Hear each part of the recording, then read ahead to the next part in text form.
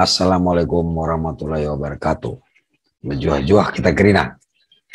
Teman-teman ini lagi rame nih, eh, lagi viral, di mana tiga nelayan warga Aceh dan satu warga Rohingya diponis lima tahun penjara karena menyelamatkan warga Rohingya.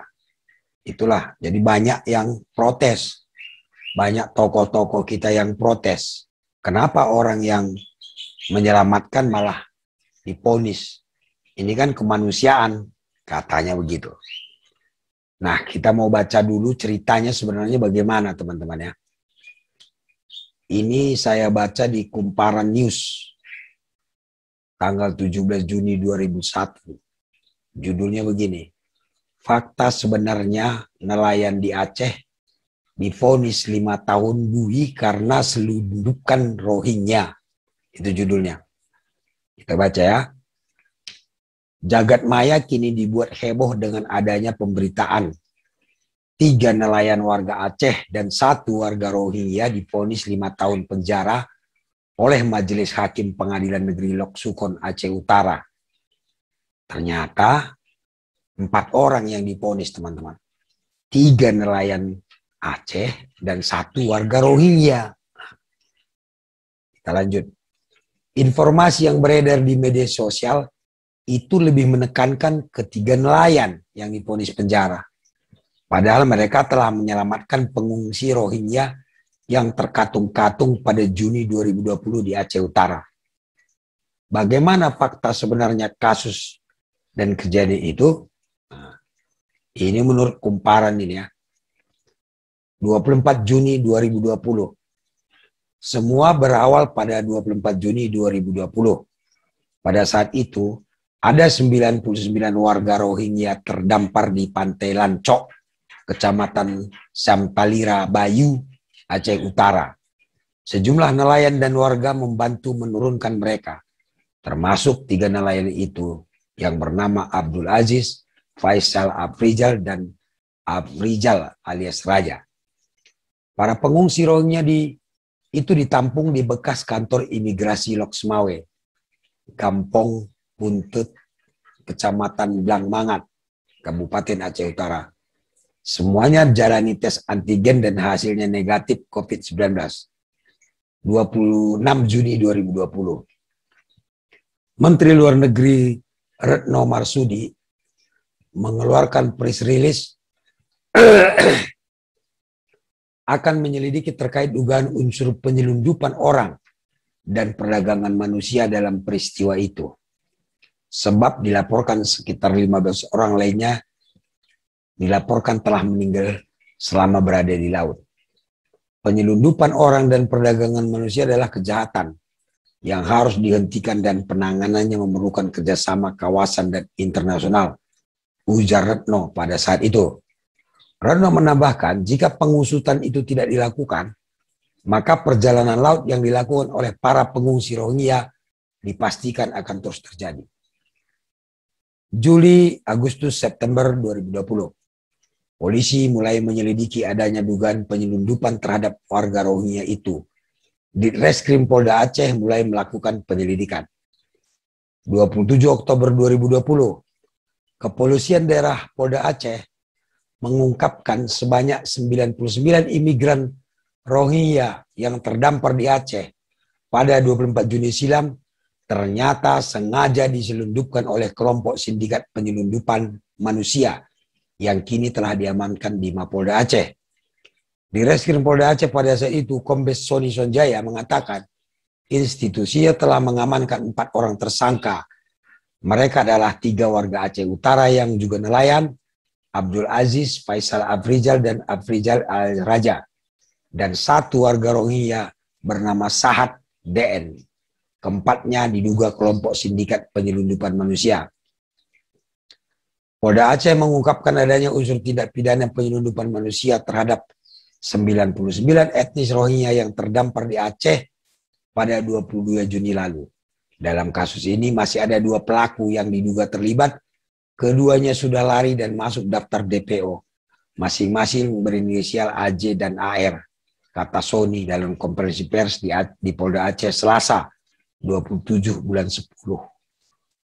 Ternyata teman-teman ada yang lari ya melarikan diri. Ini catatan juga ya kan. Kalau dia mereka menyelamatkan kenapa mesti takut lari ya kan? 14 Juni 2021 dan 16 Juni 2021 Majelis Hakim Pengadilan Negeri Lok Sukon, Aceh Utara, menjatuhkan vonis lima tahun penjara masing-masing keempat orang tersangka penyelundupan itu. Mereka juga didenda 500 juta rupiah karena terbukti telah menyelundupkan puluhan warga Rohingya ke perairan Indonesia via Aceh Utara. Vonis mereka dibacakan secara terpisah oleh majelis hakim. Abdul Aziz, Faisal Afrizal, dan Afrizal alias Raja vonisnya dibacakan Senin 14 bulan 6 Sedangkan warga Rohingya Sahat DN difonis pada Rabu 16 bulan 6. Mereka disidang dalam berkas perkara berbeda. Fonis itu diputuskan hakim lantaran persidangan mereka terbukti. Fonis itu diputuskan hakim lantaran dalam persidangan mereka terbukti melakukan tindak pidana penyelundupan manusia. Penyelundupan itu dilakukan pada Juni 2020 atas 99 orang pengungsi Rohingya. Dalam ponis yang dibacakan majelis hakim sembari mengutip sedikit dakwaan, Sahat DN bersama Adi Jawa dan Anwar yang kini masih buron menyuruh Abdul Aziz, Faisal Afrizal dan Afrizal LS Raja menjemput dan membawa rombongan etnis Rohingya dari tengah laut ke Kuala Idi, Aceh Timur. Mereka diberi upah yang dihitung satu 1,6 juta per orang dewasa. Setelah menyepakati upah, Faisal menyewa sebuah kapal dari Tokerani senilai 10 juta. Biaya sewa kapal ditransfer Anwar 5 juta, sementara sisanya diberikan seusai kapal dibawa tiba kembali ke daratan. Faisal Abdul Aziz dan Afrizal Al Raja menggunakan kapal sewa itu berangkat ke tengah laut atau ke titik koordinat yang diberikan Anwar. Oh, rupanya mereka ini kan nelayan ini diberikan diberikan titik koordinatnya, tempat di mana orang itu akan dijemput.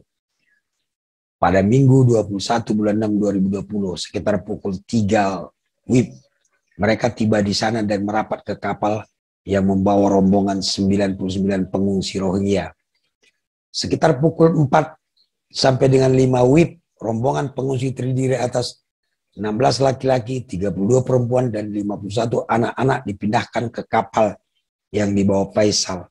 Kapal itu kemudian berlayar menuju Kuala Idi, Aceh Timur. Namun kapal itu mengalami kerusakan dan mati mesin di sekitar perairan Jambo Air, Aceh Utara, atau sekitar 75 mil dari Kuala Idi. Pada Senin 22 bulan 6 2020 sore, Kapal itu ditarik ke bibir pantai dengan bantuan kapal pancing ikan yang melintas. Dini hari pada Selasa besoknya, kapal itu sudah berada di sekitar 4 mil dari bibir pantai.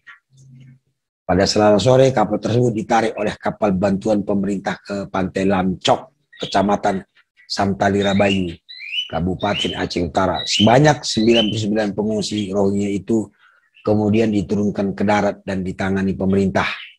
Dalam persidangan terungkap bahwa Faisal menerima uang 7 juta dari Anwar yang digunakan untuk biaya operasional penjemputan. Uang itu juga dibagikan masing-masing 500 ribu untuk Faisal, Afrizal Raja, dan Abdul Aziz. Anwar juga mengirimkan uang ke Faisal senilai 4 juta melalui rekening istrinya. Sementara Abdul Faisal dan Afrizal juga ditransfer masing-masing sebesar 1 juta. Itulah menurut kumparan ini ceritanya seperti itu teman-teman. Lalu pasal apa sebenarnya yang dikenakan kepada mereka ini? Mereka ini dikenakan pasal 120 Undang-Undang Keimigrasian ya. Nah, kita baca nih pasalnya. Pasal 120 ayat 1. Setiap orang yang melakukan perbuatan yang bertujuan mencari keuntungan. Garis bawah ya, mencari keuntungan baik secara langsung maupun tidak langsung untuk diri sendiri atau untuk orang lain dengan membawa seseorang atau kelompok orang baik secara terorganisasi maupun tidak terorganisasi atau memerintahkan orang lain untuk membawa seseorang atau kelompok orang, baik secara terorganisasi maupun tidak terorganisasi, yang tidak memiliki hak secara sah untuk memasuki wilayah Indonesia atau keluar dari wilayah Indonesia dan atau masuk wilayah negara lain yang orang tersebut tidak memiliki hak untuk memasuki wilayah tersebut secara sah baik dengan menggunakan dokumen sah maupun dokumen palsu atau tanpa menggunakan dokumen perjalanan, baik melalui pemeriksaan imigrasi maupun tidak, dipidana karena penyelundupan manusia dengan pidana penjara paling singkat 5 tahun dan paling lama 15 tahun. Dan pidana denda paling sedikit 500 juta rupiah dan paling banyak 1 miliar 500 juta rupiah.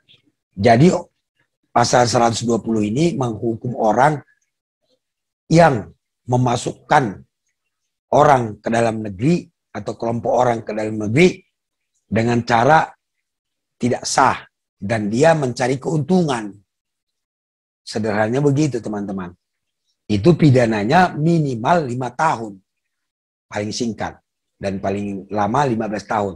Dalam hal ini hakim sudah memutuskan paling singkat ya. Tidak mungkin di bawah lima tahun teman-teman. Karena ancamannya minimal lima tahun. Ini sudah uh, vonis minimal ini. Nah, ternyata di sini kuncinya, apakah mereka ini mencari keuntungan dalam memasukkan warga Rohingya itu ke Indonesia? Kalau dia mencari keuntungan di sana, maka dia dikenakan pasal 120. Jadi kalau logikanya, kalau dia mencari keuntungan, berarti bukan menyelamatkan namanya ya itu kenalah pasal 120 penyelundupan manusia ini. Tetapi kalau tadinya dia tidak mencari keuntungan semata-mata untuk menyelamatkan orang ini, maka dia tidak kena pasal ini. Jadi kuncinya kalau menurut saya, apakah dia mencari keuntungan atau tidak. Nah, kalau menurut kumparan tadi, fakta persidangan mengatakan bahwa mereka mencari keuntungan. Ada yang mendapat satu juta setengah, ada yang janjinya akan mendapatkan 1,6 juta dan sudah ditransfer sekian-sekian. Dan ternyata ada yang nyuruh, itulah yang orang Rohingya itu yang menunjukkan tempatnya. Jadi kalau dari cerita yang ditulis kumparan ini, menurut saya kena dia pasal 120. Mereka bukan menyelamatkan, tapi mereka mencari keuntungan dengan cara memasukkan orang ke Indonesia secara tidak sah. Ya. Tapi ingat nih, kalau ternyata memang mereka itu hanya semata-mata menyelamatkan, ya, mereka ini tidak boleh kita kenakan pasal ini. Ya, kita tidak tahu ya, tapi fakta persidangannya menurut kumparan tadi seperti itu. Jadi kesimpulan saya teman-teman, kalau mereka memang menyelamatkan semata-mata memang bermaksud menolong, tidak ada niat lain, mereka tidak boleh dihukum. Tidak boleh dikenakan pasal 120 setidak-tidaknya ya. Tapi kalau mereka memang niatnya mencari keuntungan dan sudah mendapat keuntungan dia dan tujuannya memang untuk mencari keuntungan, maka mereka dikenakan pasal 120 ini sudah tepat. Intinya apa teman-teman? Sebelum kita berkomentar, sebaiknya memang kita cek dulu faktanya sebenarnya seperti apa ini di media kan banyak sekali eh, judul-judul uh, bahwa uh, nelayan Aceh menyelamatkan orang malah dihukumkan gitu. Kesannya kan seperti itu. Nah, kita sekarang sudah bisa berpikir jernih menggunakan akal sehat kita apa sebenarnya yang terjadi. Jadi mudah-mudahan kita tidak telan bulat-bulat berita-berita itu teman-teman ya. Harus kita cek dulu kebenarannya. Dan yang pasti yang menjadi patokan kita adalah fakta di persidangan, bukan hasil pemeriksaan penyidikannya. Tapi itu kan berkas polisi itu kan awalnya ya. Tapi yang menjadi patokan, menjadi landasan hakim menjatuhkan vonis itu kan fakta persidangan itu, apa yang didapat selama persidangan di dalam pemeriksaan hakim. Begitu, mudah-mudahan ini bermanfaat, menambah wawasan kita lagi. Tetap bersama Bang Benny, tetap semangat. Kita belajar hukum supaya kita tidak mendapatkan kesewenang-wenangan. Assalamualaikum, mejuah-juah kita kerina.